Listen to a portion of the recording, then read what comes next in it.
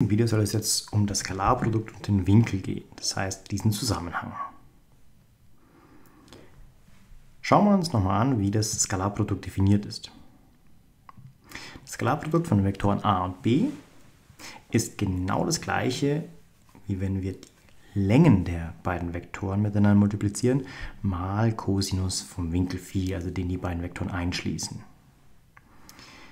Das können wir jetzt einfach nach Cosinus von Phi umformen und können somit recht einfach den Winkel bestimmen. Das heißt, wir nehmen hier das Skalarprodukt von Vektoren a und b und teilen es durch die Längen von den beiden Vektoren miteinander multipliziert. Ein kleines Beispiel dazu.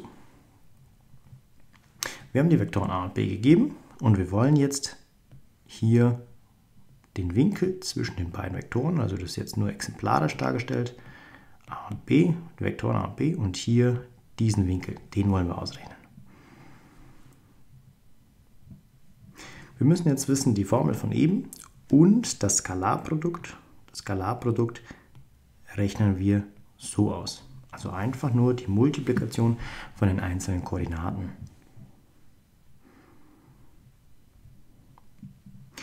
Das heißt, für Vektor a und b dem Skalarprodukt müssen wir jetzt einfach mal die Vektoren hinschreiben und die Länge rechnen wir aus, indem wir die Wurzel von den Quadraten der einzelnen Koordinaten nehmen. Wenn wir uns das jetzt mal genauer anschauen,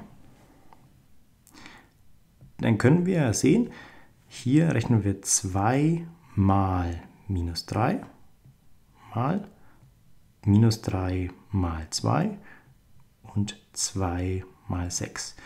Und diese Ergebnisse addieren wir alle. Das heißt, 2 mal minus 3 ist minus 6 plus minus 3 mal 2 ist auch minus 6 plus 2 mal 6 ist 12.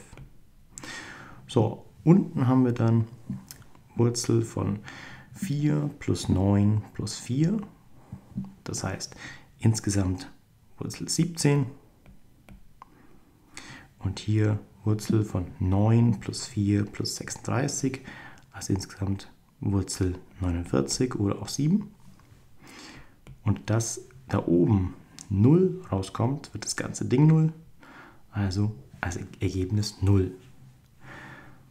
Jetzt können wir für den Winkel Phi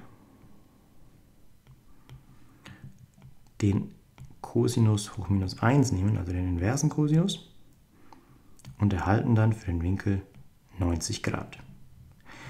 Das heißt, hiermit können wir sehr einfach den Winkel bestimmen.